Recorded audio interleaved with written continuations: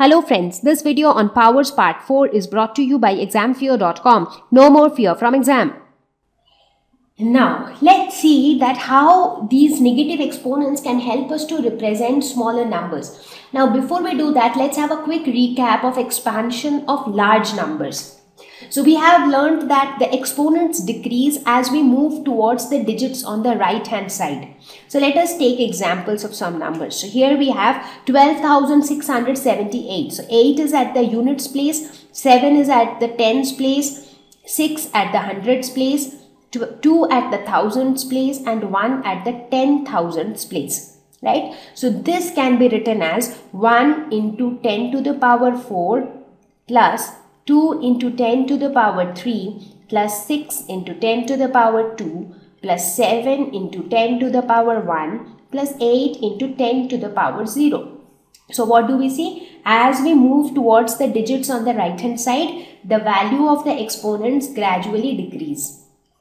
Similarly, if you take another example, so this is a yet bigger number. So in this case, how can you write this? So you see this is units, tens, hundreds, thousands, ten thousands, then you have lakhs, 10 lakhs and so on. So in this case, you can write it as 9 into 10 to the power 7 plus 2 into 10 to the power 6 plus 5 into 10 to the power 5 plus 3 into 10 to the power 4 plus you have all zeros after this. So here also you see the same thing. As you move towards right, the value of the exponent gradually decreases. Now let's see what happens with smaller numbers or with decimal numbers because when you talk about very small numbers or you talk about decimal numbers there we make use of the negative exponents. So here also the concept remains the same. So let's take an example. So here you have 1025.63. So in this case the digit the decimal part of the digit that is 0.63 so 63 is the fractional part or the decimal part and this is the whole number part. 1025 is the whole number part. So we will deal with the whole number part as usual like how however we have dealt so far. So this would be 1 into 10 to the power 3 because 5 is at the units place 2 is at the tens place 0 is at the hundreds place and 1 is at the thousands place. So this would be 1 into 10 to the power 3 plus 0 into 10 to the power 2 plus 2 into 10 to the power 1 plus 5 into 10 to the power 0 so this is how we have dealt with the whole number part. Now what about the decimal part so in the decimal part now as we are further moving towards the right hand side so the value of the exponent will further reduce. So this becomes 6 into 10 to the power minus 1. So after 0 you would have minus 1. Then you have 3 into 10 to the power minus 2.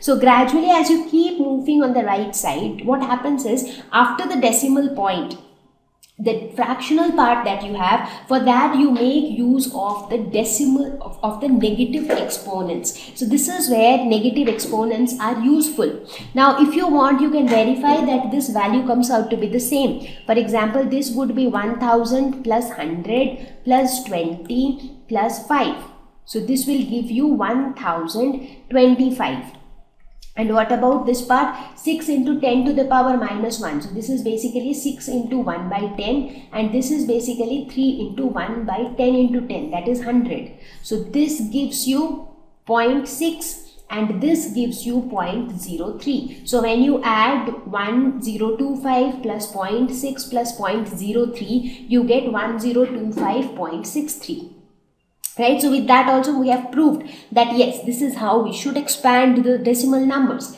So let's try with another decimal number. It's 1256.249 so this is units tens hundreds and thousands. So this can be expanded as 1 into 10 to the power 3 plus 2 into 10 to the power 2 plus 5 into 10 to the power 1 plus 6 into 10 to the power 0 plus 2 into 10 to the power minus 1 plus 4 into 10 to the power minus 2 plus 9 into 10 to the power minus 3. So the negative exponents represent the fractional part and the positive exponents represent the whole number part. Thank you. Please visit examfear.com for free quality education. You can learn with a simple four step learning process wherein you can watch video lessons, you can ask your questions, you can refer notes, and you can take a free online test. We have content for class 6 to 12 on physics, chemistry, mathematics, and biology along with practical videos. So please subscribe to our channel for daily updates. Thank you.